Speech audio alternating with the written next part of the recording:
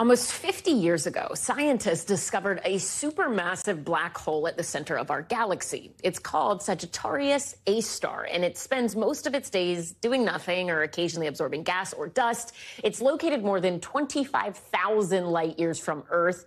Even though it's a hole, it weighs a lot. Its mass is 4.6 million times larger than our sun. Well, now a team of physicists have discovered that it's spinning so quickly that it's altering the fabric of space time around it. But this isn't the only recent space discovery. Scientists also discovered a rare six planet star system, and they move in sync with one another. The six planets orbit a star about 100 light years away and move in an orbital waltz that repeats so precisely it can set to music. Both of these incredible discoveries can help scientists understand more about our galaxy and space as a whole. Joining us now is astrophysicist, NASA advisor, and author of How to Die in Space A Journey Through Dangerous Astrophysical Phenomena, Dr. Paul Sutter. All right, we're so glad to have you here to talk about all of this and yes. just spend a minute nerding out on space. I want to ask you first about the black hole because the whole idea of it, the fact that you had Albert Einstein opening the door to this more than a century ago with his uh, general relativity theory, and even then it was like, that's a crazy thing. Then you get photos of it. We realize it exists. This idea of it spinning so fast, it's hard to wrap your mind around that. Explain to people what me, we mean when we're saying this is spinning rapidly and why it matters. Right. So, so black holes, despite their fearsome reputation, are actually very simple creatures.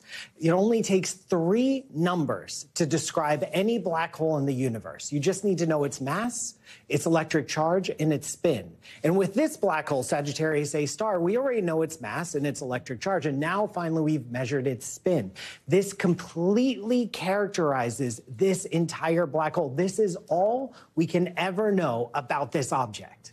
So, what do we mean when we're saying space time, altering space time? I think you just yeah. immediately go to a sci fi movie, yeah. but what does that mean to you, and why should the average person be like, okay, we want to know this? Oh, well, space time is the stage. You, me, people, planets, particles, we're the actors. We hit our marks when we say our lines. And we're embedded in this fabric created by the unification of space and time into a common whole. And so when we say something like this black hole is dragging space time around it, what we mean is that if you were to approach this black hole, if you were to fall towards it, and you were to let go, no rockets, no propulsion, just freely fall, then reality itself would be dragging around this black hole and it would take you with it and it would force you into an orbit around the black hole, whether you liked it or not. So, when scientists are learning things like this and are trying to apply it to big picture items, be it how we live as as just this society on Earth versus just a much more galaxy view and talking about other galaxies on and on, what is the thing that when scientists find these discoveries, they say, okay, this is huge moving forward? Because this seems like it really is monumental. Is it fair to describe it as that? Uh, this this is a major discovery because we don't understand large parts of the story of the evolution of our universe. We have a, a lot of the big picture, but we, we're missing a lot of the details, and we're especially missing the details about how galaxies grow and evolve, how these giant black holes grow and evolve, how they connect to each other, and how that impacts things like the rate of star formation, the appearance of stars like our sun and planets like the Earth. And these black holes, these giant ones, they're not very common.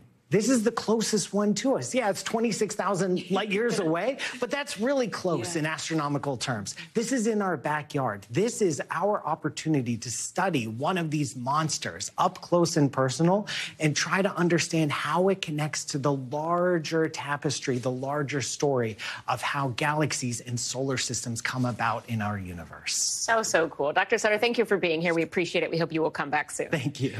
Thanks for watching. Stay updated about breaking news and top stories on the NBC News app or follow us on social media.